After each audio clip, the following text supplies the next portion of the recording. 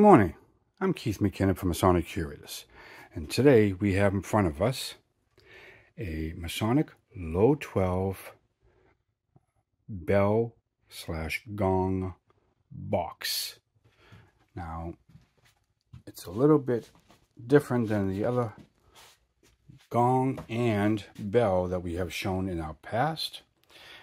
And if we can, one of our upcoming episodes at Woonsocket, Rhode Island, we have a very unusual um, gong that will be uh, shown by Rob Jackson.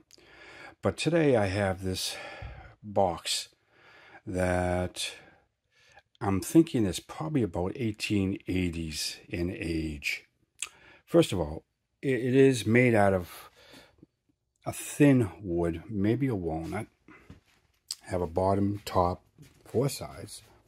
One side there is a small opening, and that is covered over by a black mesh. And the other side is a little bit more decorative, a larger opening with also a black mesh. Now, it's a very simple in design. in this area here is a, what I believe is a lead crystal bowl. That has a hole drilled in the middle, and then that bowl is connected to the bottom of the box. In this area, you have what looks like a plunger, uh, the hammerhead, which is a rubberized material. Uh, that goes on a shaft that runs down and screws to the bottom of the box. That hammer is then connected by a wire to this level, lever. Uh, and then pulling back on the lever, you pull back on the hammer, and as you let it go, the hammer then strikes the bell.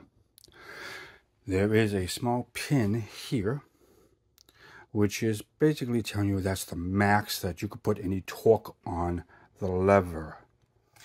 Um, I think if you did any more, any further, you would probably crack the bell.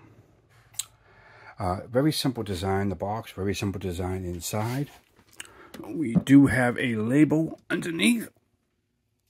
And the green one does say Baker's Low 12 and I'm saying probably gong or bell.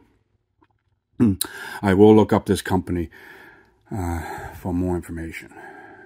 And then below it, I believe, is a George something, Masonic Low 12.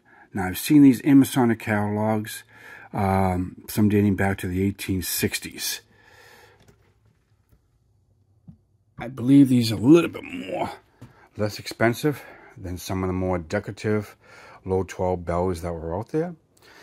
I believe this was more geared to the smaller large rooms uh, compared to a large room because you will hear in a second it's not not very loud. Beautiful chime, but not very loud.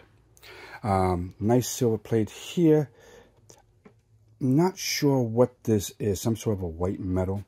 And then it's got number of brass tacks at the top that holds the top to the sides. And let me get to the larger opening so you can hear the bell better. And this is a manual piece, so you're going to have to do it 12 times by hand.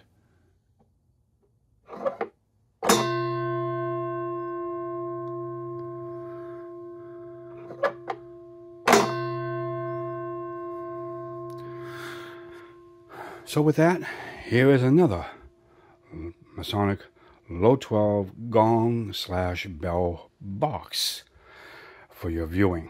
We hope you enjoyed this quick episode. Uh, Chuck is still working on retrieving our past episodes of four different buildings we have been at.